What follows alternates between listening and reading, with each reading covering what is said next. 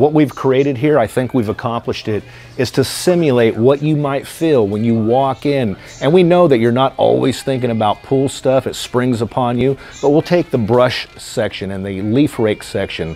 We see the look on people's face when they walk in. They might have fiberglass, they might have plaster, they see all these different brushes. So those icons, which are here, pardon me, this right here, this is key. These will never ever change every single category that you go to, for instance, key use. At least hit the key use so you can then hear what we might tell you when we see you standing here going, gosh, which brush? I see some one with steel on it and nylon. You hit that within 30 to 45 seconds, you will actually know what you're looking for and what you're not looking for. Then there's product types. Um, so if there's a difference between steel and nylon, you're gonna see that on that icon.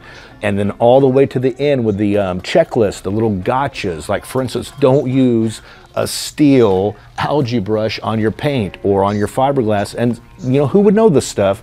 And that's what those icons are for. And the more you use them, you're going to educate yourself. So you're literally going to learn what to buy, what not to buy. It's going to save you money and increase your knowledge. Thanks a lot. And come visit us if you haven't. Bye bye.